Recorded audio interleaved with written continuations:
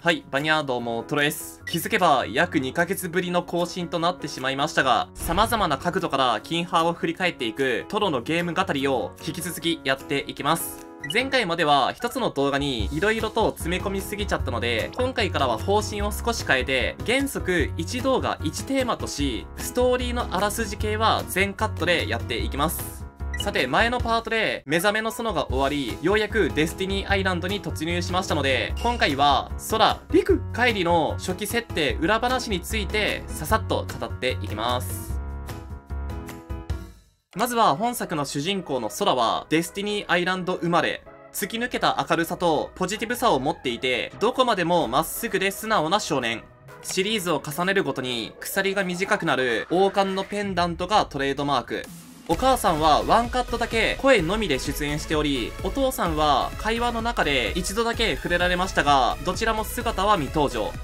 最新作、キングダムハーツ4では、16、7歳に成長して、すっかり大人っぽい雰囲気が漂っていますが、1作目のこの頃はまだ14歳。キャラクターボイスを務める入野美優さんは収録当時13歳だったそう。キングダムハーツの新たな世界を作るという意味を込めて、世界を構成する3つの要素から、空、という名前が与えられましたが、その名にふさわしく、空のように明るくてポジティブな性格で、いろんな人の心を包み込んで繋げていく存在となりました。旧スクエアからは、ミッキーを主人公にしたいとリクエストされ、ディズニーからは、ドナルドを主人公にしたい、などと色々プレゼンされたそうですが、ディレクターの野村哲也氏は、オリジナルキャラを主人公として、ディズニー世界を冒険したいと最初から決めていたため、いや、いいです。僕はそういうゲームは使わないですよ。と途中でプレゼンを止めたみたいです。その場にいたスクエアの社員はヒヤヒヤしたでしょうね。開発初期の空はチェーンソーみたいな武器を持っていましたが、それを見たディズニー側はすごく驚いて絶句状態。数名のスタッフが1枚のデザイン画を取り囲んで、それはまずいよ、的なことを英語で言っていたそうなんですけど、野村氏は英語がわからないため、ディズニーサイドのスタッフが実際に何と言っていたのかは不明。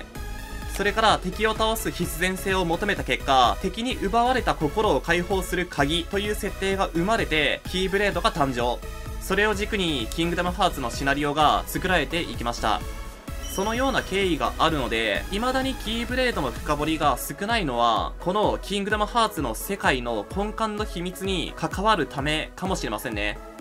また初期の空は半獣という設定で獣の耳や尻尾がついていましたが当時開発されていたファイナルファンタジー9の主人公ジタンも尻尾が生えていたことを途中で知り設定が被ることを避けるために普通の少年としたようです。ちなみに初期の空の前髪は白髪銀髪でしたので今見るとすごく意味深に感じますよね。ミッキー不在の穴を埋めるため、空の衣装はミッキーのカラーリングから抽出されています。過去のインタビューにて、野村氏はお気に入りキャラとして、ファイナルファンタジー7のクラウド、FF15 のノクティス、そして空を挙げていました。いずれも一発でデザインがまとまらないという共通点があり、空は朝までディズニーとデザインに関して意見をぶつけ合って生まれたキャラであり、思い入れが特に深いようです。空のジャケットは厚手のナイロン製でプロテクターに近いとのこと。空をあえてヒーローにはせず、普通の少年と設定した理由は、プレイヤーイコール空であってほしいという思いが野村市にあるため、いくつもの心を内包したり、夢のような世界で冒険をしたりと、空そのままという人は当然いませんが、プレイヤーも私生活の中で誰かの心を感じたり、自分だけの冒険をし、大切なもののために特別な力を発揮できるはずであるため、そんな空のような心はプレイヤーの中にも存在するという思いから、空を普通の少年にしたようです。まあ簡単に言えば、環境や経験はソラとは違うけど、心の本質的な部分では、ソラも我々プレイヤーも普通であるといった感じかと思います。はい、ソラに関しては一旦これくらいにしておきましょう。お次はソラの親友であり、ライバルの少年リク。彼もデスティニーアイランド育ちで、幼い頃からソラとはずっと一緒でした。自信と余裕に満ち溢れており、年の割に大人びたところもあり、クールな性格。異端の印 X の模様のあるノースリーブの服装や筋肉質であること、銀髪や性格などからゼアノートの若かりし頃を連想させます。やはり彼と血縁関係にあるのでしょうか1作目時点の年齢は15歳であり、ソラより1歳年上。この関係性もまるでゼアノートとエラクゥスのようですよね。両親は未登場ですが、1作目時点で両親ともに健在であることが伺えます。名前の由来は世界を構成する3つの要素の1つ、陸から野村氏曰く、陸の設定は空とのバランスから生まれ、特に変化球もなく、王道のライバルキャラとして書いたようです。また、空には似合わない、色々と悩みを抱えながら成長するタイプの主人公的な役回りを背負っており、旧スクエアテイストのヒーローっぽいキャラとして作ったとも語っていますね。少し先の物語になりますが、リクがカイリの心を取り戻そうと行動するのは、カイリへの思いよりも、むしろ扉を開いてしまった自分の犯した罪への懺悔の気持ちが強かったようです。こうやって一人で頑張っちゃうところも、なんだかゼアノットっぽさを感じますよね。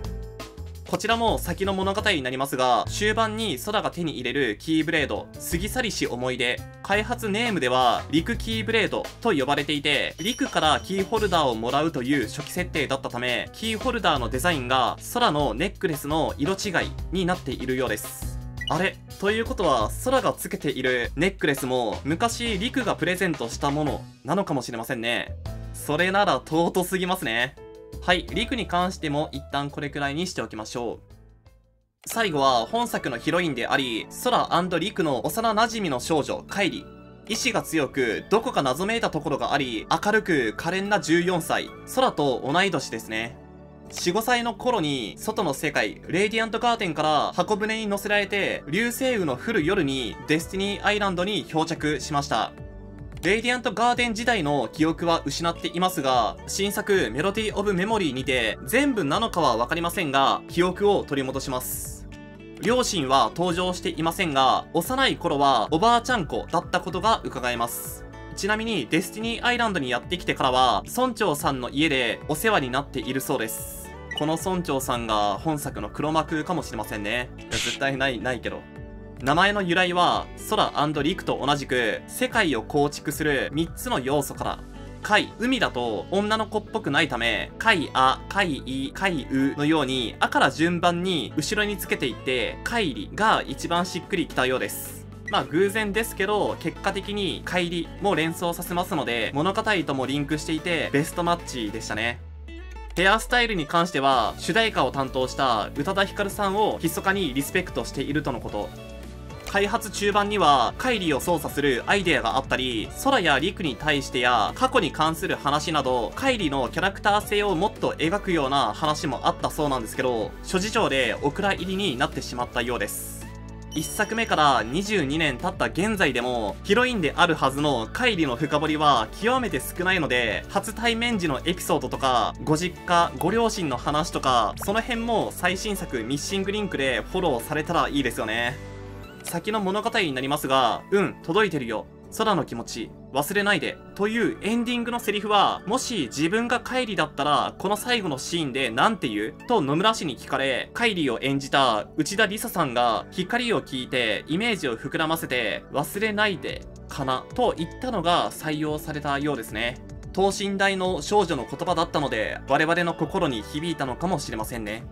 はい、今回は以上です。初期設定とか裏話ってワクワクしますよね。ボツになった案が採用されていたらどうなっていたんだろうとか、このボツ案が今後活かされることもあるのかなとか、いろいろと想像するのもまた作品の楽しみ方の一つですからね。はい、今回の動画が参考になった、キンハー大好きという方はグッドボタンもよろしくお願いします。今回の動画の感想や気づいたこと、好きな初期設定などがあれば、お気軽にコメント欄で教えてください。次回は、未だに謎の多い、デスティニーアイランドについて語る予定です。それでは、またねバイバイ